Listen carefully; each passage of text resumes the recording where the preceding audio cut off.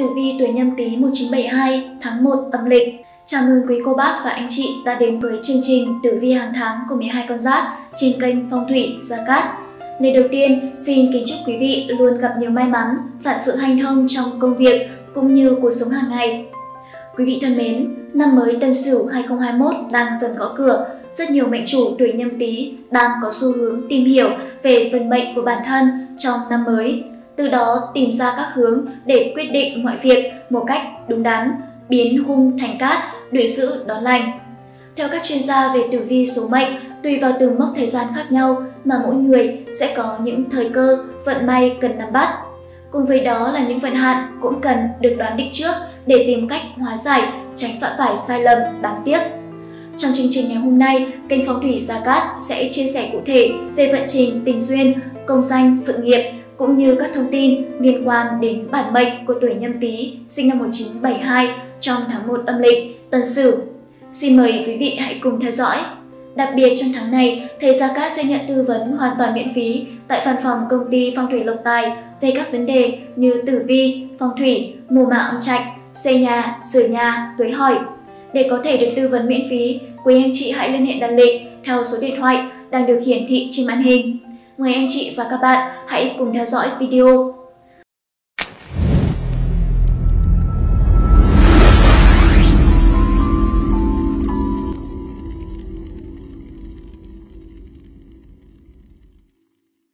Tổng quan tháng 1 âm lịch năm 2021 Tháng 1 âm lịch được bắt đầu từ ngày mùng 1 tháng 1 và kết thúc vào ngày 29 tháng 1, từ ngày 12 tháng 2 đến ngày 12 tháng 3 dương lịch Tháng canh dần có nạp âm là tùng bách mộc, tháng dần lục hợp hợi, tam hợp ngọ và tuất thành hỏa cục, xung thân, hình tỵ, hại tỵ, phá hợi, tuổi dậu.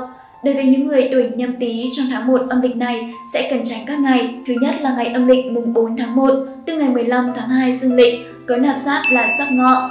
Thứ hai là ngày âm lịch 16 tháng 1, tức 27 tháng 2 dương lịch, có nạp giáp là bính ngọ. Thứ ba là ngày âm lịch 28 tháng 1, tức ngày 11 tháng 3 dương lịch, có nạp giáp là mậu ngọ. Đây là 3 ngày không được cắt lành khi tính theo tuổi của các mệnh chủ tuổi nhâm tý. Trong những ngày này, mệnh chủ cần phải hết sức chú ý. Tốt nhất, không nên thực hiện những công việc quan trọng. Lời khuyên từ các chuyên gia phong thủy cho bản mệnh là nên chú ý tới sức khỏe nhiều hơn, tiêu tiền vào những việc cần thiết, không nên vung tay quá chán. Đồng thời, để công việc thành công, may mắn, kích công danh, tài lộc, tình duyên, các gia chủ nên sử dụng vật phẩm phong thủy, minh quang, pháp bảo.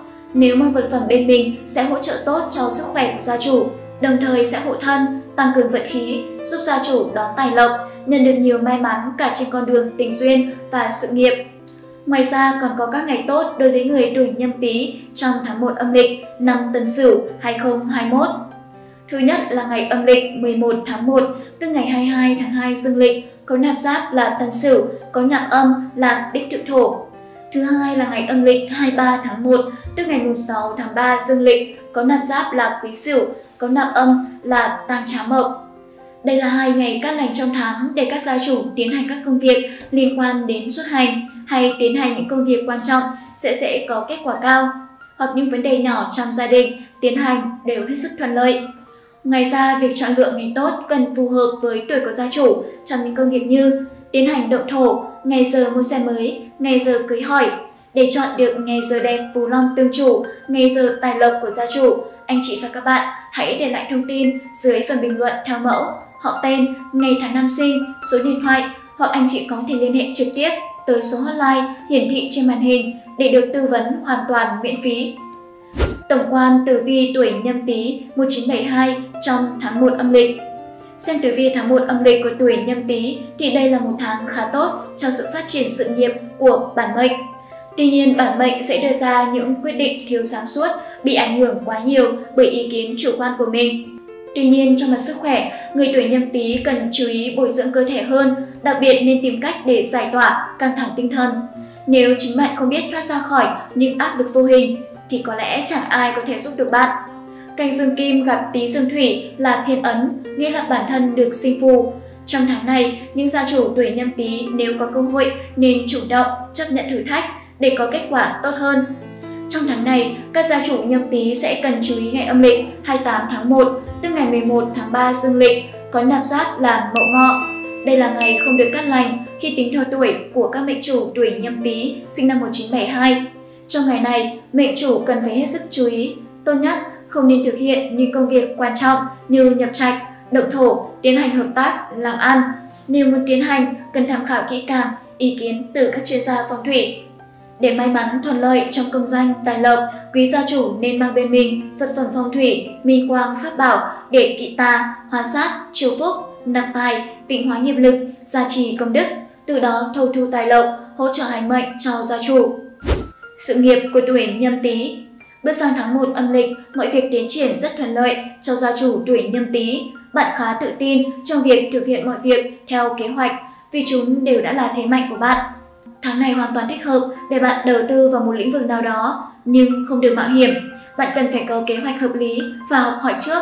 Không đầu tư mù quáng, liều lĩnh thì át hẳn bạn sẽ thành công và gặp may mắn về tài lộc. Để kích hoạt sự nghiệp ngày càng phát triển, hóa giải vận hại không may mắn, đạt được thành công, khuyên gia chủ tuổi nhâm tý nên sử dụng ngay vật phẩm phong thủy, minh quang, pháp bảo. Vật phẩm có tác dụng kỵ tà, hóa sát, trừ phúc, nạp tài, tịnh hóa nghiệp lực, gia trì công đức, từ đó thâu thu tài lộc, hỗ trợ hành mệnh cho gia chủ.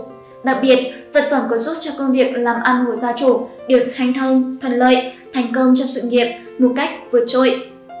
Tài lộc của tuổi nhâm tý trong tháng 1 âm lịch thì may mắn về tài lộc của tuổi nhâm tý có liên quan mật thiết đến sự nghiệp. Nếu bạn đầu tư thành công, sự nghiệp của bạn sẽ được phát triển rất nhiều, cùng với đó là các khoản thu lớn, bạn sẽ có một khoản tinh lũy vào dịp cuối năm. Những người làm công ăn lương tháng này thu nhập khá ổn định, tuy nhiên chi tiêu nhiều hơn thu dẫn đến hao hụt tài chính. Bạn cần có kế hoạch chi tiêu cụ thể, không lãng phí, tiêu pha quá đà dẫn đến túng thiếu. Còn với những bạn làm kinh doanh, buôn bán thì làm bao nhiêu, ăn bấy nhiêu. Thời điểm này bản mệnh thực sự chăm chỉ, làm việc hết mình nên chắc chắn thu nhập cũng không thể nào ít được. Để may mắn thành công, các gia chủ tuổi nhâm tý nên mang bên mình pháp khí phong thủy, minh quang pháp bảo. Minh quang pháp bảo được coi là vật phẩm hoàn hảo chứa đựng linh khí của trời đất, được hội tụ bởi những tinh hoa của Phật pháp cùng sự chất lọc những tinh túy, linh thiêng của đất trời, chứa đựng nguồn năng lượng xua tan được tà ma.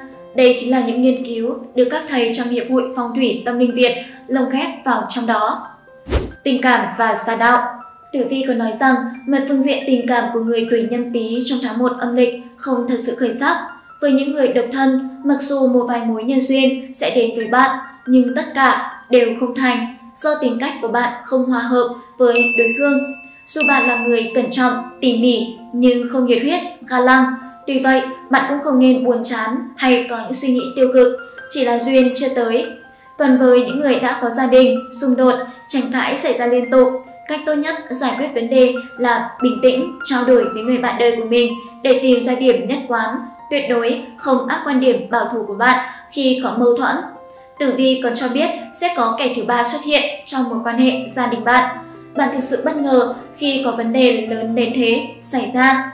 Tuy nhiên, trong tình huống này, bạn chớ nên thể hiện sự suy sụp về tinh thần và mất kiểm soát về cảm xúc của mình. Đồng thời, bạn nên dành nhiều thời gian để tâm sự, chia sẻ tâm tình với người đó để giải quyết các mâu thuẫn, những hiểu lầm đáng tiếc giữa hai người.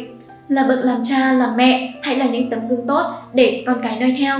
Để thành công và thuận lợi, những gia chủ tuổi nhâm tý sinh năm 1972 cần mang bên mình vật phẩm phong thủy hộ thân, tam giác khai vận, thân, tý, thìn. Đây là vật phẩm được hầu hết thầy phong thủy sử dụng làm vật phẩm hộ thân, chiêu quý nhân, hóa giải thị phi, tiểu nhân hãm hại, và là vật phẩm phong thủy cực kỳ hiệu quả trong việc kích tài lộc cho gia chủ. Về sức khỏe, nhìn chung tháng 1 âm lịch là tháng mà tình hình sức khỏe của con giáp tuổi nhâm tý khá ổn định. Bạn đã duy trì được lối sống lành mạnh và thấy được những cải thiện đáng kể. Vào thời điểm cuối tháng này, những gia chủ tuổi nhâm tý nên dừng lại, nạp năng lượng để bản thân chuẩn bị cuộc chạy đua nước rút cho những tháng tiếp theo. Ngoài ra, để tinh thần ổn hơn thì bản mệnh nên dành nhiều thời gian để nghỉ ngơi, không những thế, bạn cũng nên nghiêm túc xem lại và điều chỉnh chế độ ăn uống, tập luyện phù hợp với bản thân. Để tăng cường sức khỏe, những người tuổi nhâm tý cần mang bên mình vòng tam giác khai vận. Vòng tam giác khai vận được hầu hết các thầy phong thủy sử dụng làm vật phẩm hộ thân, chiêu quý nhân, hóa giải thị phi, tiểu nhân hãm hại và là vật phẩm phong thủy cực kỳ hiệu quả trong việc kích tài lộc cho gia chủ. Trên đây, chúng tôi đã trao đổi với anh chị về luận giải vận hạn tuổi nhân tý tháng 1 âm lịch năm Tân Sửu 2021. Hy vọng với những kiến thức chúng tôi vừa chia sẻ, anh chị có thể áp dụng tránh hung hòa cát để lộ trình công việc được thuận lợi và suôn sẻ hơn. Cảm ơn mọi người đã theo dõi video của chúng tôi. Còn bây giờ, xin chào và hẹn gặp lại!